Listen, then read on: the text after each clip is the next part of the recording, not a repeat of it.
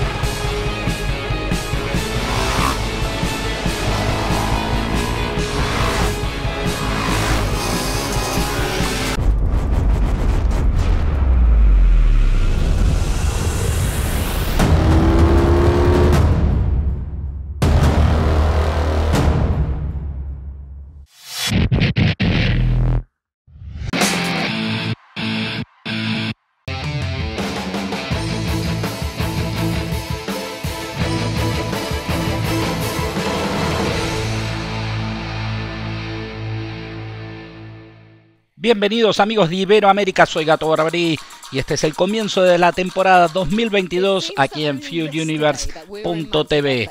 Ya estamos con nuestra compañera Lisa Leyland que llega a esta región hermosa de Winchester para la apertura en Maeterlinck Basin, este trazado que es excelente. Parece que fue ayer cuando terminó el campeonato 2021, pero ya estamos en esta nueva temporada que lamentablemente no contará ni con el campeón de MXGP, Jeffrey Herlings, ni con el subcampeón Romain Febre en esta primera fecha por lesiones. En el caso de Herlings, su talón lesionado en el caso de Febre, esa lesión que tuvo en el Supercross de París que todavía lo deja fuera de combate. Veremos si pueden volver rápidamente y veíamos a Tim Geiser que se planta como uno de los grandes candidatos. También lo tenemos a Jorge Prado. Mientras tanto en la MX2, el rey de la temporada pasada, Maxime Renault, le devolvió la gloria a Yamaha después de 14 años, pero pasó a la categoría mayor, con lo cual abre la puerta para que Tom Vial tenga una nueva chance de ser campeón del mundo como en el 2020 o quizás Jaco Gertz, el subcampeón de 2020 y 2021, pueda buscar su primer título del mundo. También Matías Guadagnini, que debutó el año pasado, es uno de los candidatos. Kate de Wolf, que ya supo lo que son las mieles del triunfo en la temporada pasada, quiere sumarse como candidato. De esta manera comenzamos en este magnífico trazado la nueva temporada del Mundial 2022. Y nos vamos con el piloto local. Estamos hablando de Conrad Muse, que nos estará mostrando este trazado de Matterly Basin con esta largada al estilo bicicross BMX en bajada que nos lleva este curvón rápidamente a la izquierda en este trazado que la semana pasada el campeonato comenzaba el 27 de febrero, pero se suspendió. Imagínense lo que llovió, la tormenta que hubo para que se suspenda el motocross en Inglaterra. Casi tuvieron que enviar el arca de Noé, pero gracias a Dios, una semana después estamos viviendo esta apertura Matley Basin que no va a necesitar riego, fíjense, ya es un reino de las canaletas, de las roderas, de los huellones que seguramente serán protagonistas en esta rapidísima pista. Fíjense ahí cayendo ese tabletop y enseguida a negociar la precisión de las canaletas en cada curva. Una pista que tiene pendientes muy largas, suaves pero muy largas. Fíjense si ustedes miran a la derecha o a la izquierda cómo va cambiando el terreno y pueden ver los cambios de altura, en este caso en este salto en bajada que nos muestra Conrad Muse sobre esta KTM SX F250. Este año estará haciendo todo el mundial. El año pasado solo hizo el británico y algunas carreras del mundial. Pero para esta temporada 2022, Conrad Muse estará haciendo el calendario completo que tendrá 20 fechas. Ahora se reduce a 19. Veremos qué pasa con Rusia. Lamentablemente estamos viviendo este conflicto bélico entre Rusia y Ucrania y esperemos que haya paz en el mundo cuanto antes y por supuesto es el deseo de toda la humanidad, ¿no? Que podamos disfrutar de esta vida y por supuesto de las cosas que nos gustan como a nosotros el motociclismo. seguimos viendo a Conrad Muse negociando parado en los pedalines, en los posapiés, en estos curbones impresionantes y les vamos a dedicar este programa de inicio de campeonato a dos personas muy especiales, al pai del motocross, a Luis María Ambrosini, que bueno, la vida le puso una manga muy dura, hay que ir hacia adelante, lamentablemente sufrió una lesión medular y en su moto, así que seguramente nos estará viendo desde el Instituto Fleni junto a otro grande del deporte como Joaquín Draghi, que en este caso también se lesionó, pero jugando al rugby, así que a ellos les mandamos un fuerte abrazo a todo el equipo del Fleni, a Mariano y a todos los que ayudan para que los chicos salgan adelante cuanto antes. Seguimos con este whip increíble de Conrad Muse. Acelerando todo para venir a este escalón que yo lo he bautizado Herlings Cairoli. ¿Se acuerdan que ahí se engancharon? Bueno, en esta bajada se retoma para allá después cumplir una nueva vuelta. Empezamos a ver los cambios. Esto a la llegada de Maxime Renault, como decíamos, a MXGP. Le deja la puerta abierta a Tom Vial, que irá en búsqueda de su segundo título del mundo. Veremos si puede lograrlo el francés. Pero Jago Gertz ya viene demostrando que más allá de sus errores ha sido dos años consecutivos subcampeón del mundo y estará con esta Yamaha oficial para plantarle batalla a los dos grandes candidatos para esta temporada. En el caso de Gertz, sigue con este señor, con Thibaut Benistant, que estuvo lesionado. Matías Guadagnini, que ha pasado de KTM a Gas Gas, pero seguirá manteniendo el número 101, el italiano, que tuvo una gran primera temporada. Y ahí luce ese número tradicional, en este caso con la marca Gas Gas estará acompañado de este señor, de Simón Langelfeder, que ya estaba en la formación de la marca Gas el año pasado. Husqvarna lo tiene a Kate Wolf, que el año pasado no solamente ganó manga, sino también conoció lo que es ganar una general. Estará con Ran van de Smoesdijk, su compatriota el holandés. Llega y vuelve Kevin Ormo, el noruego, que salió subcampeón europeo en 2021, había estado en el Mundial, volvió al europeo y ahora vuelve al Mundial sobre esta Kawasaki también presentada junto a Miquel Harup, el dinamarqués, que ya lo conocemos del año pasado, todos ellos egresados de los europeos y con gran nivel. Harup no pudo redondear una buena primera temporada, pero veremos qué sucede. Y fíjense quién llega, el gran belga tan esperado, estamos hablando de Liam Everts, hijo del gran Stefan y nieto de Harry Everts, entre su padre con 10 títulos y su abuelo 4, 14 en el historial, veremos qué sucede. Ahí lo tienen al sueco Gifting, que ha pasado a KTM, dejando la gas gas, y este chico que ustedes están viendo ahí se llama Kay Carsen Markiers, a seguirlo a este holandés de 17 años que es egresado de 125 del europeo, pasó por el 250 y ahora está buscando junto al equipo KTM Hitachi un lugar en su primera temporada del Mundial. Este es el momento emotivo para toda la comunidad del motocross, puntualmente para el equipo KTM, el homenaje al desaparecido René Hofer, que el año pasado ganó un gran premio y bueno, lamentablemente en una avalancha en su Austria natal murió mientras que estaba esquiando. La tristeza y por supuesto el dolor y el recuerdo de toda la comunidad del motocross para René Hofer, que estará siempre en la memoria de todos los que compartieron pista y por supuesto de todos los fanáticos que tuvimos el placer de verlo correr. Cae el partidor, comienza la temporada 2022, vuela a tierra a soltar el embrague, el clutch y fíjense el Ángel Feder por el interno que ya había logrado ganar la clasificatoria, tuvo el hot shot del sábado y ahora se queda con el hot shot del domingo. El primer hot shot del año es para Simón Langel Feder. Vamos a ver el alemán que se trata de escapar, pero lo tiene a Tom Vial enseguida que trata de perseguirlo. Este es Kevin Ormo, que largó muy bien. Vamos a ver cómo se ubica en noruego, que viene renovado y con la confianza renovada después de un gran campeonato europeo. Ahí va la tercera colocación, aunque pierde el pie del pedalín. Fíjense, aquí lo tenemos a Kate de Wolf. Ahí peleando palmo a palmo y casi se engancha en la caída con Jago Gertz. Qué manera de empezar el año, por Dios. Milimétrico y ahí se va al piso. Se equivocó Jago Gertz en la bajada. Aquí lo tenemos a Miquel Harup. Fíjense que cambió la línea. Lo veíamos a bordo de la moto del dinamarqués. Esquivando a la máquina número 93 que ya recupera. Este es Van de Schmusdijk. Debutando sobre Laus Barna y acelerando todo. Cambió del verde al blanco. Y aquí vuelan Harup que lo persigue desde atrás, lo estamos viendo desde su cámara. Fíjense, Van der peleando con Gifting y su nueva KTM se tocaron, se fue para afuera, pero zafó de irse al piso. Aunque Harup aprovecha para atacar y superar al sueco. Muy buena batalla en esta primera manga. Lo tenemos a Harup que avanza, lo vemos más confiado, tiene todo el talento, pero el año pasado golpeó en ese debut del Mundial, bastante su parte emocional.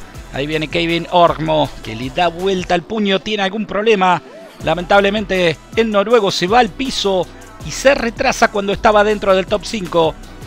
Aquí aparece Chaco Gertz. También lo teníamos al francés. Fíjense, volvemos con Jaco Gertz porque hay batalla. Se juega por afuera.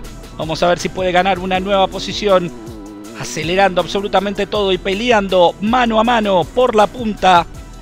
Aunque el Ángel Feder ya se había ido bastante y ahí está, cae la bandera cuadros y es triunfo del Ángel Feder. Su primera victoria de mundial, sus primeros 25 puntos en este debut de temporada. Cuando queda casi sin descanso el cartel de un minuto. Ahí los últimos preparativos antes de la segunda manga los dispositivos de largada, algunos que cambian neumáticos a último momento, el frío que todavía está en Europa. Y ahí el cartel nuevamente de 15 en la concentración a soltar el embrague, el clutch a buscar tracción. Y otra vez el Ángel Feder que larga desde la posición interna. Fíjense, todos tirando el peso hacia atrás. Y otra vez gran largada del Ángel Feder que busca su segundo hot shot. Y tercero del fin de semana, ha dominado en todas las largadas. Excelente lo de Simón Langelfeder. Veremos si es capaz de poder repetir la victoria de la primera manga. Como decimos, hay un gran porcentaje en largar bien. Tom Vial otra vez segundo. No lo quiere abandonar el francés, no quiere perder la espalda del alemán. Entra en la zona combinada. Vamos a ver, se defiende el Ángel Feder, aunque fue por el interno. Tom Vial y es el nuevo puntero de la carrera. Ahí le piden que respire a Vial. Este es Gifting con la KTM, seguido de Kate Wolf con los Barna se tira por el interno que de Wolf y con un pequeño toquecito se queda con la posición de Gifting. Mientras tanto, ahí lo tenemos. ¿Quién se equivocaba? Alguien que se subía, era Vial. Sí, Tom Vial que se fue al piso. Aquí tenemos la repetición. Y fíjense las canaletas de protagonistas. Aunque pudo tener los dedos en el embrague, en el clutch, no se apagó el motor, la dio vuelta y salió rápidamente nuevamente a cazar a Simón Langelfeder. Se equivoca Kevin Ormo ahí perdiendo por el interno. Súper competitiva la MX2, la tensión en la zona de los pits. Y fíjense, manda Langelfeder, segundo vial, tercero Gertz, que se viene con todo. ¿Y quién se va al piso? Me parece que es Kevin Ormo, sí, salió por arriba del manubrio, del manilar del timón. Y va a tener que recuperar el piloto noruego cuando ataca con todo Tom Vial que quiere quedarse con la general, sabe que tiene que ganarle al Ángel Feder. Ahí estamos en la bajada cuando se equivocó. Se fue al piso. Tom Vial. Fíjense, las canaletas se cruzaban dos. Se enganchó y pierde la posición. Ahora el nuevo segundo se llama Jago Gertz, empieza a atacar y ojo que el belga siempre tiene buen final de manga, pero no le va a alcanzar porque el que se lleva el triunfo perfecto con 50 puntos es Langel Feder. Qué manera de arrancar el año con el pie derecho. Y acá nos dice, bueno, muchas gracias. Una buena largada. Tuve tres shows este fin de semana. Luego Tom me pasó pero cometí un error y recuperé la punta y de ahí en adelante, bueno, manejé lo más rápido posible.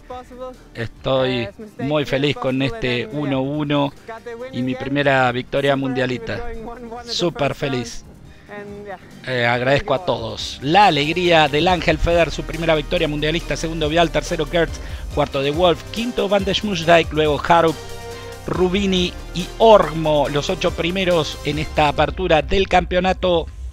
Y por supuesto va a ser el orden en los puntos, hacer la apertura del certamen, la entrega de esos hermosos trofeos que están recibiendo. Casi se le cae al ganador la locura de Simón Langelfeder, que comienza excelente esta temporada 2022, su primer plato rojo, la lluvia de champagne, no te muevas de ahí, ya se viene la primera del MXGP aquí en FuelUniverse.tv.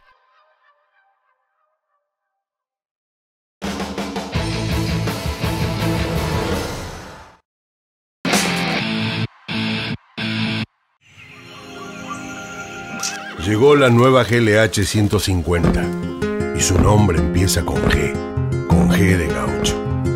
Así como el gaucho arranca al amanecer su jornada, la Honda GLH arranca siempre a la primera intentada.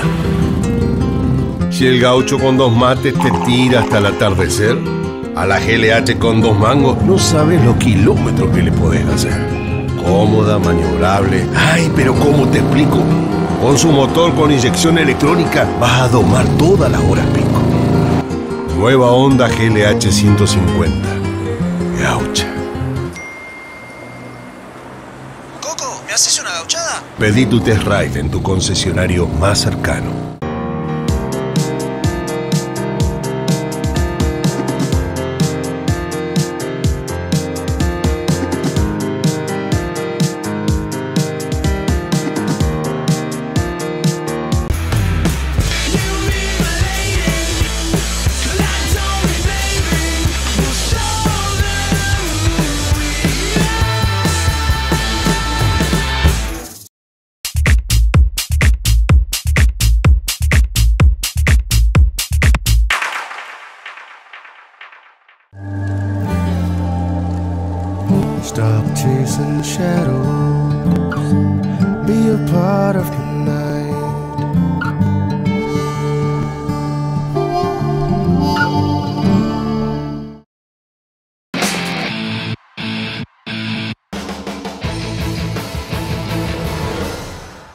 Y ahora sí, se viene la categoría reina, el MXGP, con estos recuerdos de lo que fue la coronación del quinto título de este señor, de Jeffrey Herlings. Que bueno, una vez más, ¿quién puede frenar a Jeffrey Herlings? Él mismo, con esta lesión que tiene en su talón, en su tacón, según como lo denominen, en el punto de Iberoamérica que estén. Ahí está Romain Febre que también tuvo la rotura de una de sus piernas en el Supercross de París en Bercy. Ben Watson que va a estar reemplazándolo. Mientras tanto, Tim Geiser sabe que puede arrancar muy bien camino a la búsqueda de un nuevo título. Estará con Mitch Evans, que regresa desde 2020 de esa lesión. El australiano que lamentablemente se lastimó cuando estaba en un gran momento. Esperemos que pueda volver a subirse a ese ritmo de punta tan competitivo. El team de Carly dejó después de muchos años KTM para estar con Gas Gas y así seguir atendiendo al español Jorge Prado, que también llega en muy buenas condiciones y con ese sueño de ir en búsqueda de su primer título de MXGP. El equipo Husqvarna lo tiene a Paul que hoy no estará presente por una operación que tuvo en los tendones de una mano y estará acompañado del especialista de arena Brian Bogers. Esta es la formación Husky para este año. Mientras tanto, Yamaha presenta un equipo muy fuerte con Jeremy Siever, con el talentoso Glenn Coldenhoff y la nueva incorporación, el señor Maxime Renault, el flamante campeón mundial de la MX2 que se sube a una 450 y que promete. Beta seguirá con Jeremy Van Horevic y ahora suma a un piloto italiano para una dupla italiana entre manejo y moto. Estamos hablando de Alessandro Lupino que viene de hacer una excelente temporada 2021 además de ganar el motocross de las naciones del año pasado. El Honda 114 Motorsports incorpora a Rubén Fernández que ya el año pasado cerró las últimas carreras sobre una 450 dando muy buenas impresiones.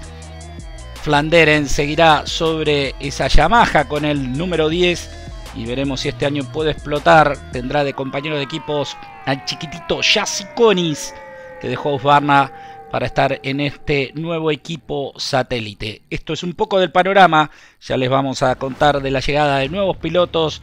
Mientras tanto nos preparamos para la primera manga, la primera batería, el primer hit, la primera carrera, como les guste denominarlo en su punto de origen de Iberoamérica. Algunos que limpian los neumáticos, se va a venir la caída del partidor, vuela tierra y eso marca que tenemos acción de este 2022 y fíjense Prado que va en búsqueda de su primer hot shot, lo logrará, sí, dobla por adentro, lo sigue Silver, Renault, por afuera lo veíamos acá y ahí está. Con esa sana costumbre de picar en punta, fíjense que bien que largó Forato con el 303 que se metía adelante nuestro en la cámara cuando se descontrola Rubén Fernández en esa entrada con las canaletas. Fíjense, se salió la rueda trasera de una canaleta y pierde el control. Me parece que Forato lo ayudó con un pequeño toque a ir al piso. Sí, se descontroló de atrás. Fíjense que de adelante no se había salido la rueda. Y esto es lo que decimos, es uno de los obstáculos a vencer aquí. Otra repetición desde la cámara de Maxime Renault. Lo veíamos a Forato que lo tocaba. Lidera Prado segundo. Siever. Ahí dobla Coldenhoff tercero. Cuarto Forato. Gran largada. Quinta posición para Maxime Renault. Tim Geiser en el sexto lugar. Y ahí les marca que ataquen. Fíjense cuando se equivocó Tim Geiser en las canaletas. Es el común denominador. Y ahora a recuperar tirando scrap ahí. Seguido Siever que sabe que olfatea sangre y quiere tener una buena temporada. Cerró muy bien el 2021 y va. Va por afuera el suizo. Gran maniobra para tomar la punta, aunque nos entrega. Atención España y vuelve Prado sobre una moto de origen nacida en España, la marca Gas Gas. Español con español en esa combinación. Va Ciber, Prado segundo. Las dos Yamahas restantes. Y ahí lo pasa Tim Geiser a Forato. Vamos a ver si se puede recuperar Prado. Esta es la diferencia con Jeremy Siever. Tercero está Glenn Coldenhoff. Con ese estilo impecable ahí, parado los pedalines en los posapiés, negociando esa canaleta. Era cuarto Maxime Renault, pero lo durmió literalmente Tim Geiser por el interno antes de entrar a esta zona combinada. Ahí le marcan que ataque a Tim Geiser desde el cuarto lugar. Vamos a ver qué sucede ahora cuando Maxim Renault lo pasó a Glenn Coldenhoff. Esto es toda la guerra del top 5. Fíjense, ahí va Geiser por el interno para pasarlo a Prado y logra superarlo. Es el nuevo líder de la competencia. No, porque adelante está Jeremy Siever. Aunque Prado no se entrega, va por afuera Tim Geiser. Gran maniobra del piloto esloveno de la Honda HRC con el 243 para superarlo al español. Y fíjense Qué tribuna de lujo. Ahí lo teníamos al nueve veces campeón del mundo, Tony Cairoli.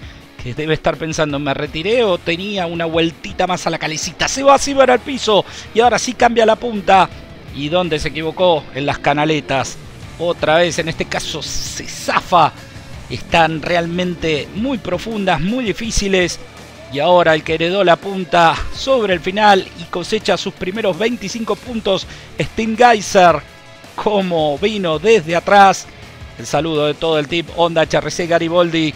Ahí está Silver con la impotencia que sabe que se le escapó la manga sobre el final. Buen debut de Maxime Renault, también Prado.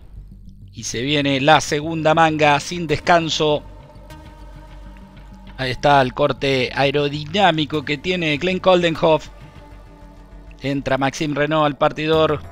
Las motos bien bajitas con el sistema de largada. Cae nuevamente el partidor y a buscar tracción. Fíjense.